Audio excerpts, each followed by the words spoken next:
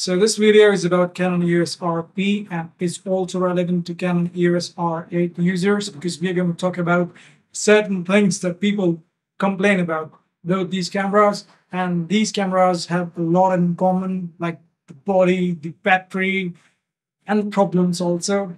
Though the R8 is a newer camera and has much more options than the RP and is more video centric than the RP, but still there are some things that you must know as uh, Canon R8 users. So as you've already seen, this camera has a sensor cover that people say is absent from this camera and was present in the R, the original Canon EOS R, and is also there in the R6 and R6 Mark II. Well, we all know that Canon cripples its cameras, so the same as with the RP and R8. What you can do to get the sensor cover on the sensor is you can go to menu, then go to the wrench icon, then in the tab 3 you will find the sensor cleaning option. Go there, press clean now, press OK, then wait for three clicks. One, two, three. Turn off the camera and you will have the sensor cover covering your sensor. And now you can change your lenses outdoors when the environment is not very friendly and you want to protect your sensor.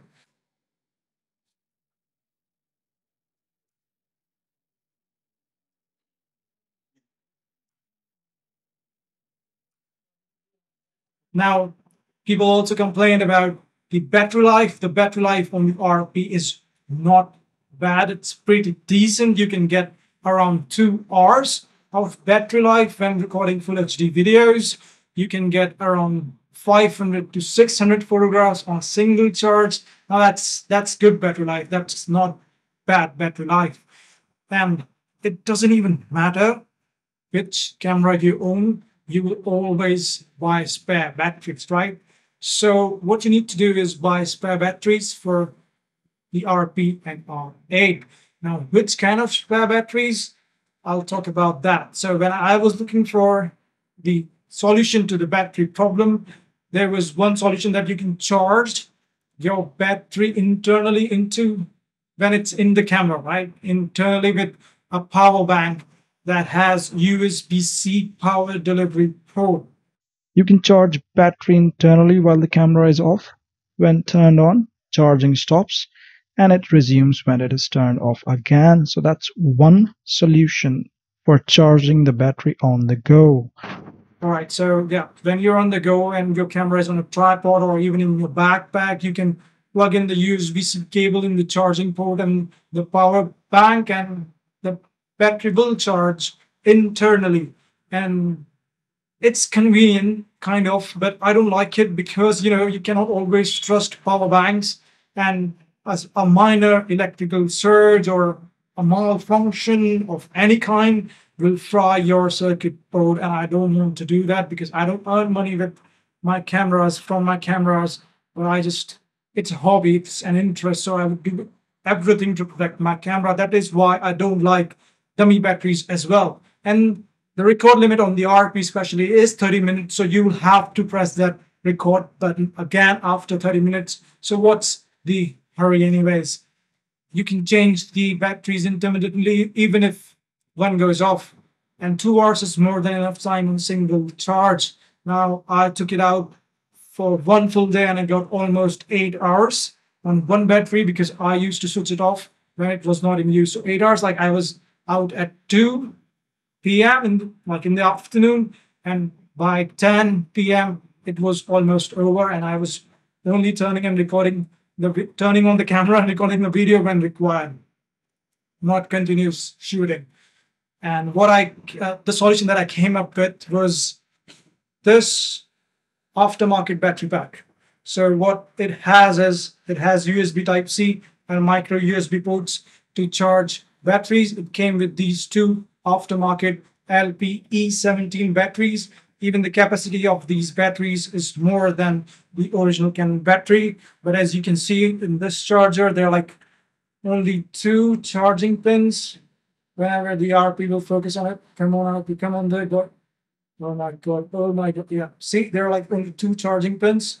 So these batteries cannot be charged with the original Canon charger. Together, they cost less than one original Canon LPE17 battery. The good part is that it comes with USB-C and micro USB charging ports, so you can now charge your Canon battery on the go with a power bank and use the other battery meanwhile. It's a perfect solution from what I can see and what I have tried till now.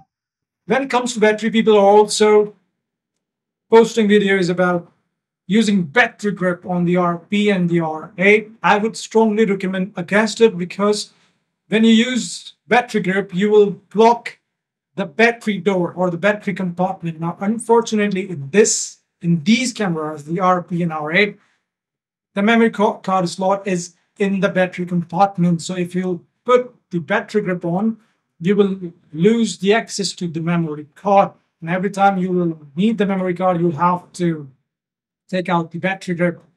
Why make the camera bulkier and heavier? These cameras are like nice to travel with because they are small and lightweight. So I would keep them like that. So this is the charger that comes with the RP, right?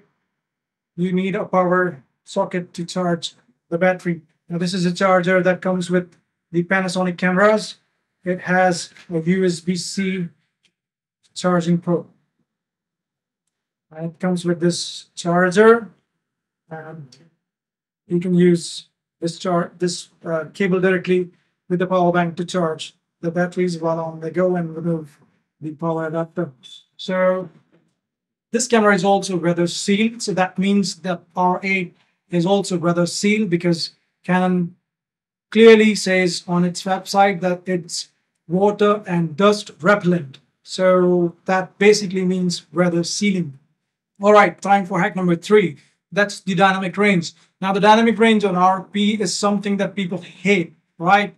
It This camera receives a lot of hate because the dynamic range on the camera is poor. I agree to that, but the thing is that Canon never discloses the base ISOs for their cameras. Like the base ISO for M200 is 200. The base ISO for RP is 400. The Canon R8 has dual native ISO. First is 400, second is 3200. What I'm trying to say is that if you keep the ISO range between ISO 400 and 1600, you will get a dynamic range of about 11.9 stops, which is nice. If not great, it is very usable. You can use ND filters if you're outdoors and bright sunlight. It's really hot here, guys, because you know we are uh, under the threat of that storm Biparjoy. The environment is very humid. We are expecting heavy rains anytime. Anyway, so let's get back to the camera. So why didn't I buy the Canon EOS R8 and bought the Lumix S5 instead when the R8 was the obvious choice as I had as I have all the adapters and about 13 Canon EF gloss glasses or lenses, whatever you want to call it. And so why didn't I buy the R8? The thing is that even the R8 has the IPB codec when it comes to video. The problem with that is that IPB codec compresses the video in a manner that it can ruin your video if the background is dynamic.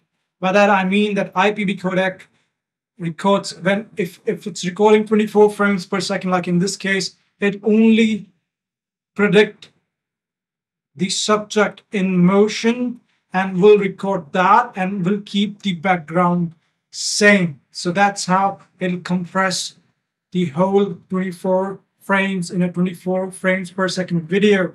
So it will not record the background, but will only record the subject that it will predict. P is for predict, B is for bidirectional. So that's IPB. It predicts bidirectionally what is going on in a frame and then compresses the video according to that. Now that video is really hard to work on and color grade and whatever whatever you want to do with it. It's going to be really hard. You you will get bending you will get color noise even though the r8 has 422 10-bit codec but the ipb compression will make the videos kind of hard to work with The Canon EOS R, the original R, on the other hand, has the all I video codec option. That means it'll record videos in larger file sizes and will probably look better. Those videos will prob- probably look better even than the R8.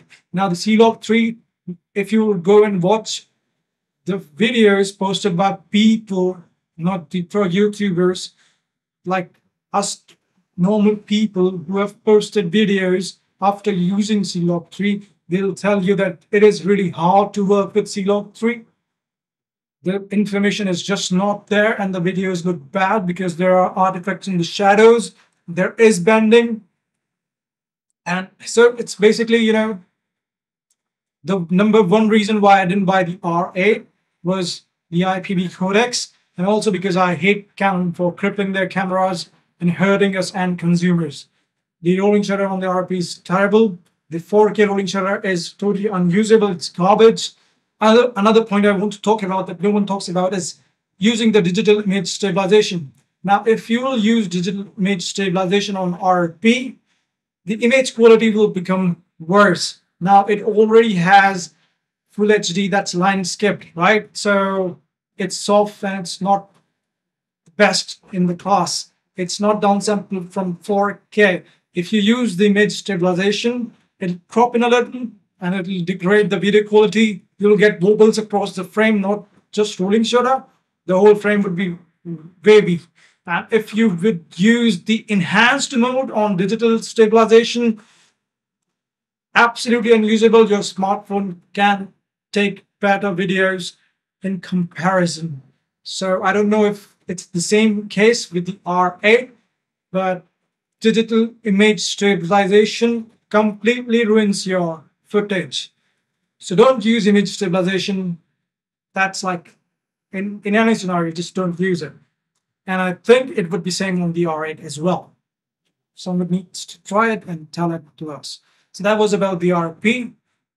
And if you're wondering if you should buy the RP in 2023, it's June of 2023, I would highly recommend against it for the very simple reason that you can get better cameras than the RP now in 2023 at this price point. Because if you're looking at a new camera system, the RP with its kit lens and the RF 50mm would cost you somewhere around $1,300 probably, yeah.